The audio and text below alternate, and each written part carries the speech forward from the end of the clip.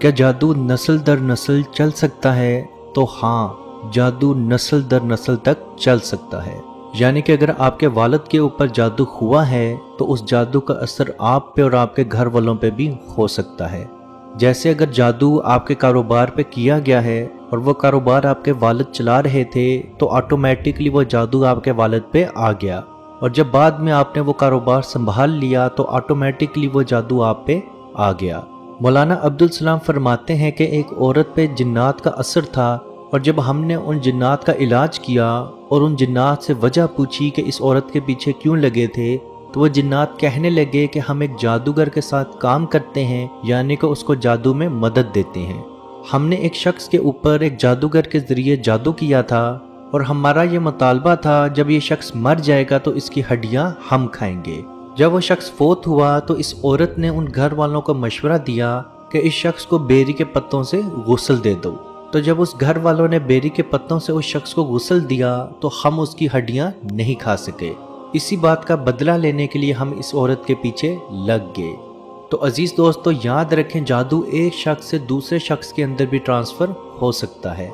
वैसे तो जादू की बहुत सी इकसाम हैं, जैसे सहर तफरीक, यानी कि जुदाई डालने वाला जादू सहर मोहब्बत, यानी कि प्यार जताने वाला या प्यार पैदा करने वाला जादू, सहर तखयल वहम में मुबतला करने वाला जादू, सहर जुनून, किसी इंसान को पागल बना देने वाला जादू, सहर हमूल, किसी इंसान को काहली और सुस्ती में मुबतला करने वाला जादू, सहर खवातिफ, किसी के दिमाग को कब्जा करने वाला जादू, सहर इमराज, किसी शख्स के अंदर कोई बीमारी पैदा करने वाला जादू, सहर इस्तहाजा ये जादू सिर्फ़ और सिर्फ़ खातन में किया जाता है, या किसी भी तरह की रुकावट क्यों ना हो, जैसे शादी की रुकावट, या औलाद की रुकावट, या काम की रुकावट, या कारोबार की रुकावट, या किसी भी तरह की बंदिश, जैसे बांझपन, या औलाद की बंदिश, ये तमाम की तमाम जादू की इकसाम है, और याद रखें ये तमाम इकसाम नस्ल दर नस्ल तक चल सकती हैं। लेकिन इसका मतलब ये हर गिज नहीं कि हर जादू नस्ल दर नस्ल चलता है। अगर वो जादू आपके घर पे, आपके कारोबार पे या आपके रिश्ते पे किया गया है तो वो जादू नस्ल दर नस्ल ज़रूर चलेगा। लेकिन कोई जादू सिर्फ़ और सिर्फ़ आप पे या आपको मारने के लिए या आपको नाकाम करने के लिए किया गया है तो उसका असर सिर्फ़ और सिर्फ़ आपकी ज़ात तक रहेगा। और यही वजह थी कि हज़रत अली रज़ी तहो जादूगरों के सर तन से जुदा कर देते थे। और उनके दौर में बेशक बहुत सारे जादूगर ऐसे थे जिनके सर तन से जुदा किए गए। जादू की बहुत सारी निशानियाँ और अलामत हैं, और अगर आप में ये अलामत मौजूद हों तो आपको अपना इलाज करवाने की बहुत ज़रूरत है।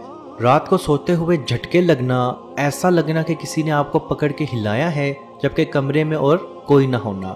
या सोते हुए बहुत ज़्यादा ड्रानवे हाब देखना हाब में ऊंचाई से अपने आप को गिरते हुए बार बार देखना हाब में सांप और छिपकली को बहुत बार देखना हाब में कोई चीज़ खाना महसूस होना और जब आपकी आँख खुले तो उसका जायका आपके मुँह में होना, सुई या किसी तेज चीज़ का लगना या चुभना महसूस होना, खून देखना, अपने कपड़ों पे, ज़मीन पे, दीवारों पे या छत पे खून देखना, किसी खाने की खुशबू अचानक से कमरे में आ जाना या किसी ऐसे फल की खुशबू आ जाना जिसका मौसम ना चल रहा हो जिसम में कमज़ोरी शुरू हो जाना जबकि आपकी मेडिकल रिपोर्ट्स बिल्कुल क्लियर हों, लेकिन फिर भी आप कमज़ोर से कमज़ोर तर होते जाना। जिसम पे नील के निशान नज़र आना, सीने में घुटन महसूस होना, घर वालों से शदीद नफ़रत महसूस होना, शोहर का बीवी से या बीवी का शोहर से नफ़रत शुरू हो जाना, जंगली जानवर देखना, ख्वाब में सोते हुए जंगली जानवरों को अपना पीछा करते हुए देखना, अपने ही घर के कमरों में या अपने ही घर में जाते हुए अकेले डर महसूस करना, जिसम पे बाल नज़र आना और वो बाल आपके ना हो। मुँह या जिसम के किसी हिस्से से बहुत ज़्यादा बदबू आना शुरू हो जाना, साय देखना, कान में अचानक किसी की आवाज़ महसूस करना, या ऐसी बीमारी में मुबतला हो जाना कि हर डॉक्टर की इलादा इलादा रिपोर्ट हो, लेकिन कोई भी डॉक्टर हतमी रिपोर्ट ना दे सके कि आपको कौन सी बीमारी है, लेकिन आप कमज़ोर से कमज़ोर तर होते जाना। बच्चियों के रिश्ते ना आना, जबकि बच्ची और जहेज़ का कोई भी मसला ना हो। अज़ीज़ दोस्तों, ये चंद निशानियाँ जादू की हैं और अगर आप में ये निशानियाँ सत्तर फ़ीसद तक मौजूद हैं और बार बार ज़ाहिर हो रही हैं तो आपको अपना इलाज करवाने की बहुत ज़रूरत है, क्योंकि जादू से किसी इंसान की जान तक जा सकती है और अगर आपने अपना इलाज ना करवाया तो ये आपका जादू नस्ल दर नस्ल तक चल सकता है। जादू के इलाज के लिए आपने सात बेरी के पत्ते लेने हैं और वो पत्ते बिल्कुल फ्रेश हों, यानी उन पर कोई भी चोट का निशान ना हो। और उन पत्तों को आपने एक बाल्टी में डाल लेना है, उस बाल्टी को आधे पानी से भर लेना है। उस पानी पे आपने एक मरतबा सूर्य फातिहा, एक मरतबा आयतल कुर्सी एक मरतबा सूर्य बकरा की आखिरी दो आयात और एक मरतबा सूर्य फलक और सूर्य नास। एक एक मरतबा इन तमाम सूरतों को आपने पढ़ के उस पानी पे दम करना है और उस पानी से गुसल कर लेना है। याद रहे, ये गुसल आपने किसी ऐसी जगह पे करना है जो पानी नाले में ना जाए। और याद रखें, इस पानी को आपने गर्म नहीं करना यानी जिस तरह का नॉर्मल पानी होता है, आपने पत्ते उसमें डालने हैं और उस पानी से नहा लेना है। और नहाने से पहले उस पानी पे दम ज़रूर करना है। कम अज़ कम तीन मरतबा आपने इस पानी से गुसल करना है और नहाने से पहले आपने थोड़ा सा ये पानी पी भी लेना है। यानी कि अगर आपको कोई जादू खिलाया या पिलाया गया है तो वो भी मुकम्मल तौर पे ख़त्म हो जाए। आप जैसे ही ये अमल करेंगे इन बहुक्म खुदा आपको अपनी सेहत अच्छी से अच्छी होती नज़र आएगी। अल्लाह पाक से दुआ है कि हम सबको अपने हिफ्ज़ ईमान में रखे और कश्मीर के भाइयों पे खसूसी रहम फरमाए और उनको आज़ादी की नेमत अता फरमाए। आमीन। अल्लाह हाफिज़। मत पूछिए के क्या है? सरकार की गली में। मत पूछिए के क्या है? मालिक हमारे उठे हुए इन गंदे हाथों की तरफ़ न देख।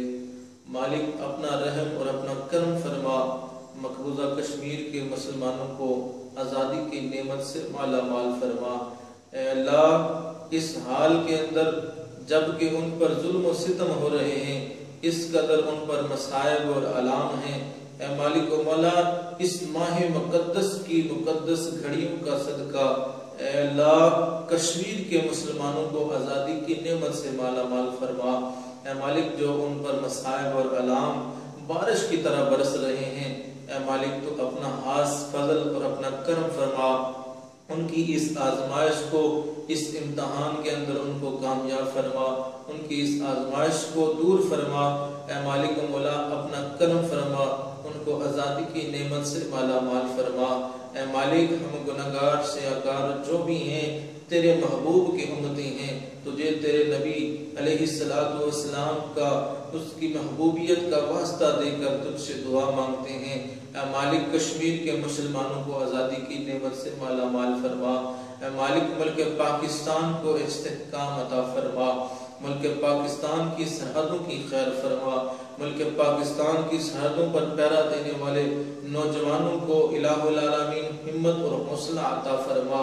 मुल्क पाकिस्तान और दुनिया के अंदर इस्लामी ममलकत के जितने भी हुक्मरान हैं, ए मालिक उनको शर्म हया अता फरमा।